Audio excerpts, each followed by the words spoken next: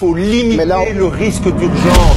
Si le sang coule, n'aurez-vous pas, vous qui n'avez pas pris les mesures justement, une responsabilité là-dedans Lorsque vous dites que parmi eux arrivent des terroristes, Bien etc., sûr. vous inventez. Vous les combattez. Allez, vous ne savez pas de quoi vous parlez. Non, mais vous ne les combattez- pas. Vous ne les combattez pas.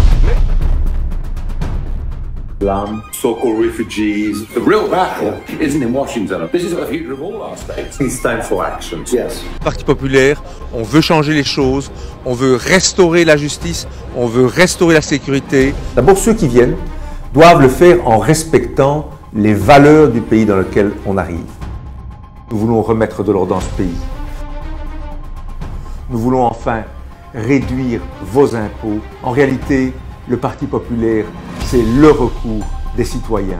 Le bureau du plan a chiffré notre programme et euh, je viendrai aux mesures. Et nous sommes le parti côté francophone qui créons plus d'emplois. Parce que vous l'avez vu, c'est plus 70 000 emplois en, en plus. des- Nous le faisons pas pour nous, pas pour le Parti populaire, mais pour vous, pour vous les citoyens, pour vous, pour vos enfants, parce qu'il est urgent de changer de cap pour ce pays.